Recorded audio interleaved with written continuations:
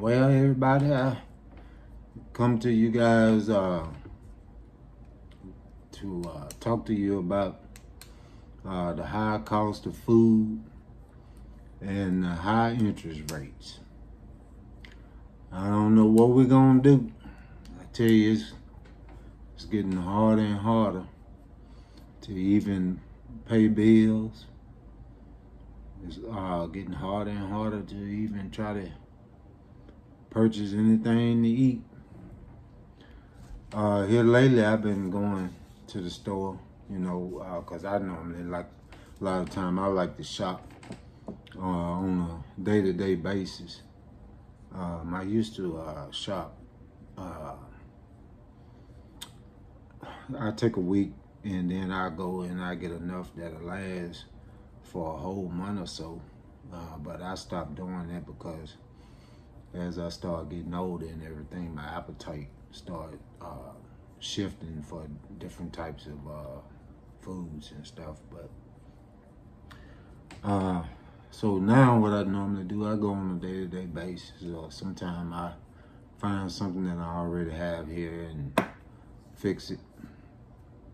But uh, first of all, I want to thank everybody out there, uh, all of my followers. Uh, I consider you as my friends now. Um, thank you for watching uh, my channel. Thank you for uh, subscribing. And for those that hadn't subscribed yet, please feel free to do so.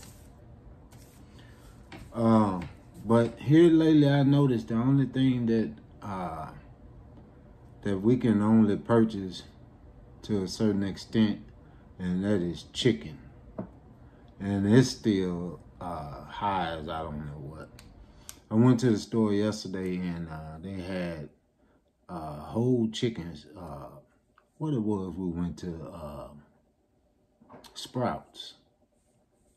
And when I tell you they had small whole chickens, they were $20 a piece. 20 bucks. Uh, and chicken wings, they $20 a pack.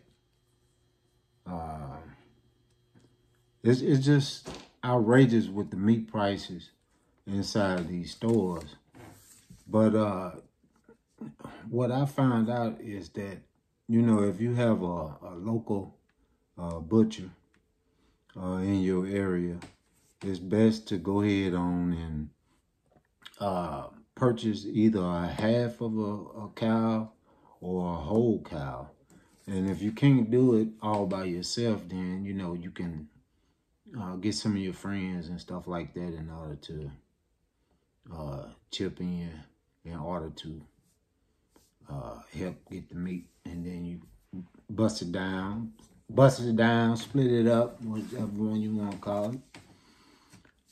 But uh, I, I even, uh, I like to eat a lot of uh, fruit and a lot of vegetables.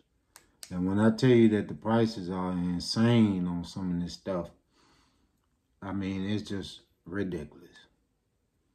Um, I, am sitting here now. I got the. I was looking through the uh, the newspaper. Well, folks, uh, my solutions other than um, uh, getting a a whole cow cut up. That's only if you eat beef, though.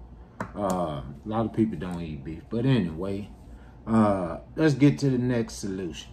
Uh, you can start growing your your own stuff in your garden, your own vegetables. You you know, just about pretty much anything that you want. You really don't have to have a whole lot of space, even if you live uh, in an apartment.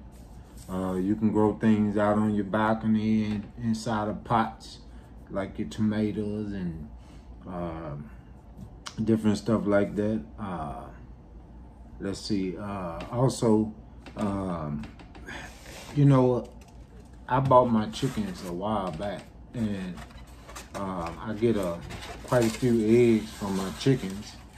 Uh, see how pretty my eggs is? My chickens, they lay uh, real good every day. Uh, and I don't know, you might have to look into that. It might be something that's feasible for you. Uh, but the feed and stuff like that for them is, is actually expensive. Uh, now that the eggs gone down a little bit in the store, you might be better off trying to just purchase them at a store. So, or you might be able to find them uh, from someone that uh, have chickens and, and they don't charge that much. So, those are some of the ways that you know you can get by some of these high costs. Uh, also, uh, I know my channel is not about uh, finances, but if you can uh, look at a lot of these apps, like DoorDash, Merchandiser, uh, they have courier apps.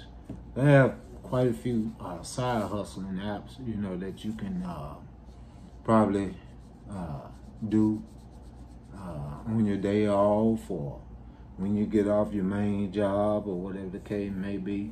Work a couple hours in order to bring in your, you know, couple hundred dollars a week or something in order to uh, combat against the cost of living uh, and these high ass interest rates.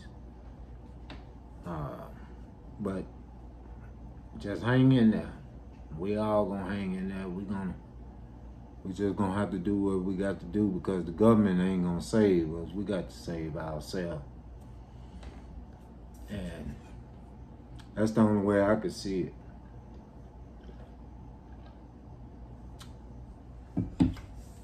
Because I don't see them trying no way, no how in order to do anything that'll really represent uh, the American people because they sending all our money to different uh, other countries, especially uh, on that war and all that type of stuff, something that we don't even have nothing to do with. But hey, them all politics. That's the reason why I don't even run a, uh, a campaign on it rather just do my food channel, do something that I know, and I, I stick with what I know. So we can talk about them people until uh, time get better, and ain't neither one of them are gonna do no good uh, for the American people because they all worried about lining their own pockets. So. Uh, like I say, just have to do what we can do when we can do it. And I want to thank you guys uh, for watching.